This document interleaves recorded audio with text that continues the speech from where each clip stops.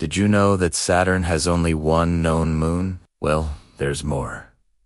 Saturn has 14 known moons. The largest one is Titan, which is the only moon in the solar system that has a substantial atmosphere. It's also the only moon we know of that has lakes, rivers, and an ocean of liquid methane. Saturn's rings are intermediate in complexity, halfway between the more extensive rings of Jupiter and Neptune and the simpler rings found around Jupiter's moons and Mars. The rings are opaque and only a few miles wide. You can see them in greater detail from Earth with a good telescope. Saturn takes 29 years to orbit the Sun just once. That's longer than the lifespan of most humans. But if you were to live to be 100 years old, you would still get to see Saturn's rings twice during your lifetime. Saturn is the least dense planet in the solar system. If it were hollow, its density would be less than water.